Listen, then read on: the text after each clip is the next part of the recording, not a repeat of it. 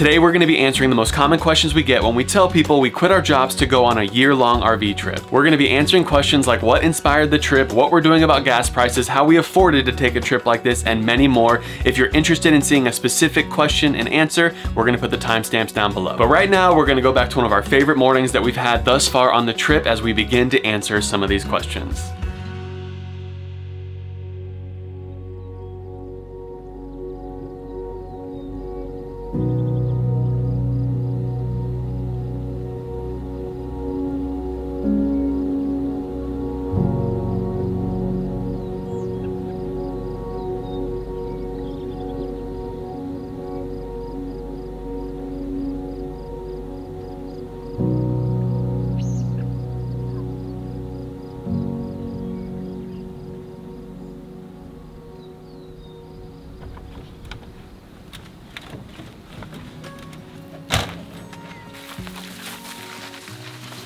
Yesterday we drove a few hours from South Wyoming to North Wyoming. It was the most beautiful drive, one of the most beautiful drives I've ever been on in my entire life. The scenery was stunning. We got here late last night. We stumbled upon this campsite that was first come, first serve, and we happened to be super lucky and get a spot right on the water. Is this real? Are we sleeping here tonight? I don't know, are we? This doesn't seem real at all. Like, there's gotta be something wrong that we're about to find out tonight. Like this is a horror story or something. This is only $15. What? And today we're going to be answering some common questions we've been getting about quitting our jobs and starting a year-long RV trip. But this morning when we woke up, we saw how beautiful and crystal clear this water is, so we need to get in. But first we need to go change. Let's go.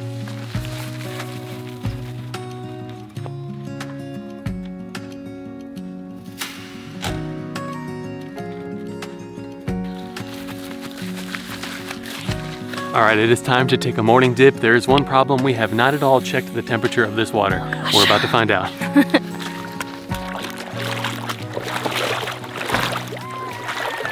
It's so cold. Oh my gosh. I'm not used to temperatures like this. Florida beaches feel like bath water, just so you know. It's reaching certain parts of my body.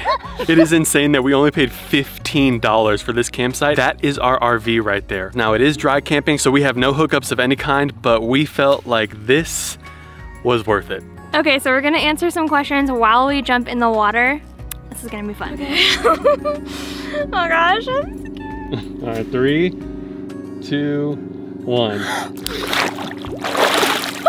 Oh! All right, one of the questions we always get Okay. is what inspired the trip? Okay, what inspired the trip is two years ago we went out west, Jackson Hole, Wyoming, which we're in Wyoming right now. We fell in love with national parks. We went to Grand Teton, Zion National Park, and Yellowstone. and Yellowstone, and it just it just ugh, it just sparked this passion about getting outside, being in nature, enjoying God's creation, and really just exploring it for all that it's worth. You can do it. Feels good. It feels good. oh my gosh. All right, three, two, oh my gosh. You can can't. do it, babe. If. I did it, you can do it. Can you believe I did it? No, this is crazy cold. it might not be for northerners, but for us southerners, this is very cold. All right, ready? Yeah. Three, two, one. Oh my. Okay, now what's your answer for what inspired this trip? Okay, so like Cris said, we got inspired by going to some national parks and it really just moved us in a way that we realized we needed to spend some time in this season of our life while we could and we wanted to take some time to just travel more, experience more. There's just so much that we want to see. So that's why we decided to make this trip happen and um, this is it. This is why we wanted to make this trip happen, right? I mean, look where we are right now. That right here is our RV And this is our front yard. this is our front yard right now, but this, this right here is why we decided to make this trip happen right here. Oh man. High man. five. Honestly, better than coffee. I don't like coffee, but don't know if I agree with that.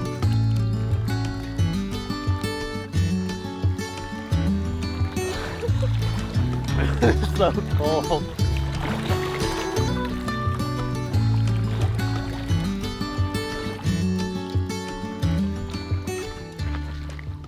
The second most common question we've been getting is where are you going? What's your itinerary? And the truth is we don't have too much of that planned. If you saw our last video, you know that we told you we're going to Canada, we're doing Banff National Park, and then we're heading down to Montana for Glacier National Park, and then Wyoming for Yellowstone, Grand Teton, and after that, we don't really know. But that's the beauty of RV life. You just kind of pick up and go where you want. If you want to stay somewhere longer, you stay, and if you want to go, you go. So we'll keep you guys updated as we plan our itinerary, but for now, that's all we got planned.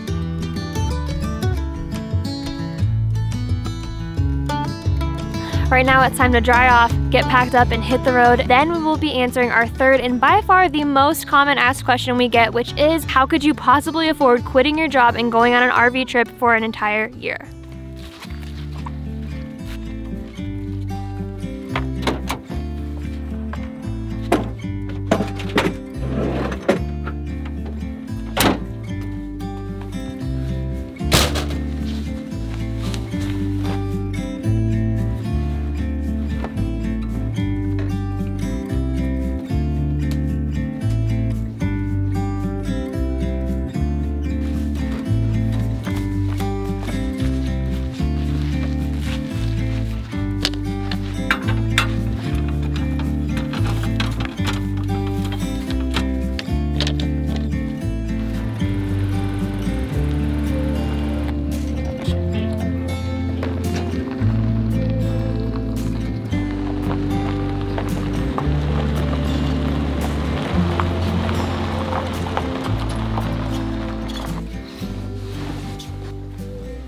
As you can tell, it's been a few days. George's beard is shorter, I'm not as ghostly white, I did a little bit of self-tanner. Now, we are going to be talking about the most asked question that we get, which is, how are you affording to do this trip? Now we want to preface this with a couple things. Number one, we are not financial advisors. Let me say that again. We are not financial advisors. All this is going to be is what we did. We are not suggesting you do this. We're not recommending it, encouraging you. This is our story. This is how we made this trip happen. The second thing we want you to know is that because money can be such a big topic, it can be sensitive topic at times, we just wanted to kind of sit down and have a bit of a conversation about it. Yeah. So this portion of the video is not going to be like other portions of our video. There's not going to be some probably really cool music or awesome B-roll. It's just going to be us talking. Talk. We just want to talk about how we made this happen because so many people are asking. People ask, what are you doing for work? What are you doing for money? We've had a couple of people ask us, did you win the lottery? Yeah. what are you gonna do when you get back? What are you gonna what are you gonna do about the gas prices? People have so many questions yes. that pertain about money. So we're just gonna sit down and answer a few of those questions as best as we can right now. Naturally, we're not gonna be able to cover it all and say it all right now in one video, but we're gonna do our best. And right now we're taking note of all of our expenses, writing down all the stats, everything like that. So in the future, we will have a video where we go over like our exact expenses, maybe like a monthly budget type of thing. But right now we're only a few weeks in and let's talk about how we prepared how did to we make get here? How did we get here? How did we prepare to make this happen? And the truth is there is no secret formula. There's no magic formula. I wish there was. It would be easier that way. It's just good old fashioned saving. That means maybe we didn't always get to get the clothes that we wanted to get. We always we didn't always go out to eat where we wanted to go, get coffee every day. We just chose as a couple to prioritize memories and moments over materials. Mm -hmm. And again, that doesn't mean we're right, you're wrong wrong, you're yeah. right, we're wrong. That's just how we chose to prioritize it. Looking back on it, we didn't always realize we were doing this, but now I can see we did three things and maybe these three things might help you. The first thing we did to be able to get to a place that we can do something like this is we set a goal. Mm -hmm. At the end of the day, you have to start by putting a target on the wall. And to be transparent, we didn't always know that our goal of saving was for this trip. Yeah. We didn't always have this in mind. But at the end of the day, it starts with putting a target on the wall because if not, you're kind of just wandering around aimlessly with mm -hmm. your mm-hmm. finances. The second thing we did is set an aggressive budget. Basically, we took a month of our spending, wrote everything that we spent that entire mm -hmm. month, an itemized list, and then we started to go through it and see what was really needed, what was not needed, what was a want more, you know, what was a want versus what was a need. And then as we started getting better with our budget, we started to realize, hey, we do have some margin here with what we're making yeah. and what we're really needing. And the rest of that money, that margin, we're going to immediately put it aside to save. And we weren't always perfect with our budget. There's times where we've splurged, of course, we're only human. But by saving that money, for years. That is how we're able to do this trip. And don't get it twisted, this is not some infinite fund that we're going to be living lavishly on in our travels.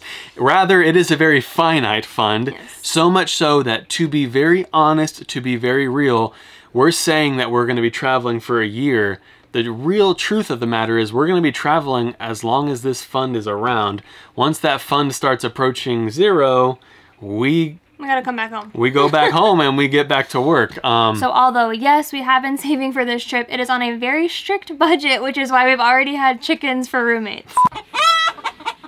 And by creating that intentional budget where we looked at what we were bringing in and what we were spending and made sure there was margin there, there was Yeah. room for saving, that brought us to the third step, which was saving aggressively. Everything in that margin. This is what we made, this is what we lived off of. All of that money was accounted for and immediately moved into savings, so much so that any money that came in over our income, I'm talking gifts. Grandma gave us $20, a gift card. Even you as a hairstylist, you would get cash tips. Mm-hmm. That was always above your normal income, so we would immediately put that aside and that also helped jumpstart our savings. So that's the truth of how we got to a place that we know, could do I wish it like was this. like some quick fix answer, but we just saved our money. and it's been years of us saving. It's been years of us saying no to things. Yes, Um, it hasn't always been fun. There's no. been clothes I've wanted to get. There's been times we wanted to go out to eat and we said no. There's been fights we've had. Oh, absolutely. yes, 100%. Because anytime you bring up finances, it can definitely cause tension.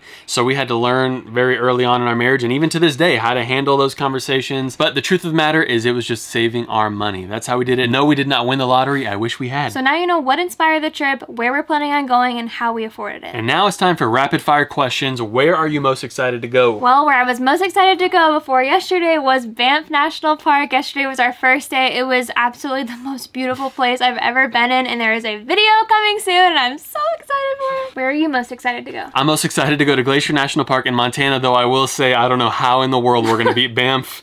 It feels We started like off strong. we started off too strong. I feel like we peaked out and now we can just pack up and go home. the reason we started in Canada first was obviously it's the most north, so as it gets colder, we want to keep going south. exactly. Weather. Weather is what Okay, took us Number north. two, number two. Question number two Is there a food that you are excited to try while on the road? I'm always excited to try food, let's be real, but I'm really excited to go back to this one coffee shop in Wyoming. It's called Persephone. It's my favorite, and I just can't wait to go back. What about you? I'm most excited to go back to ja- well, mine's in Jackson too. I'm most excited to go back to Jackson and have a Huckleberry shake. So good. Jackson boy. is known for huckleberry flavored things, and If you've never had Huckleberry, it will change your life. like a blueberry and a blackberry had a baby. and I'm a chocolate guy, True. but Huckleberry. All right, number three, so rapid good. fire. Number three. This is a good one. number Say it three. At the same time. One, two, three. Are, you, going, to annoy, each other? yes, absolutely. We're going to annoy each other. We were talking about this on our drive into Canada. But basically, when we were living at home, working full time jobs together, let's say we had to make 10 decisions a day.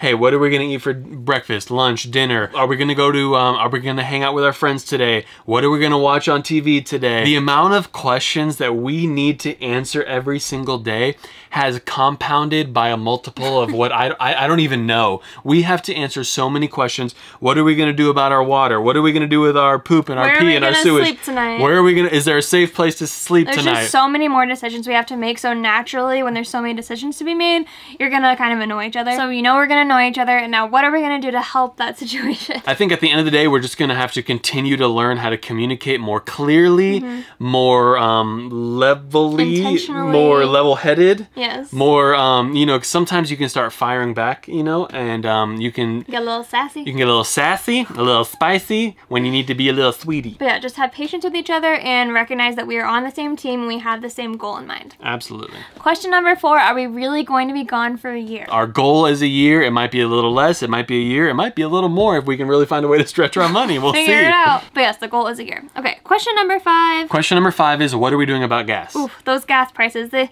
when we first planned this trip, they were not what they are today. So They be hurting. So what we're gonna do about that is, is probably just stay in places longer than we might have, which is totally fine. But that way we're not driving every single day. The other thing that we're doing is we're shopping for gas like so many of you. Oh, yes. We're using gas the Gas Buddy app and we're using Upside to try and save where we can when we can. back. And last one, what has been your high and your low so far? My high of the trip so far has been Banff National Park. We've already mentioned it. I We're big fans. We're big fans. We're very big fans. That place was insane. My low of the trip so far has been we we locked ourselves out of the RV. Oh, that could have been really, really bad. Thankfully, my sister was with us. We sent her through the window for her to open the RV from the inside. That was a low. Getting gas always stinks because of the prices and also fitting a 28 foot trailer into a gas station. It's just, it can be nerve wracking with all these people flying around and stuff like that. Well, my high was the same as his. Banff is just, it's stolen my heart. It makes me emotional just to even like think about what we saw there. Walking out onto Lake Louise for the first time literally took my breath away, and I'm so excited for that video. Mm. Um, a low for me is, gosh, it's pretty hard to think of a low, which I guess is a good sign. we had a hot night in a golf course parking lot. We did, and there was a thunderstorm that was pretty scary. But Oh, yeah. Other than that, I just, I guess, just missing family and friends. But so far, so good. If you have other questions, be sure to drop them down below. We're gonna be answering other questions along the way. We really appreciate your support, you subscribing to our channel, liking and commenting. We love you. We'll see you next time in Banff. Later.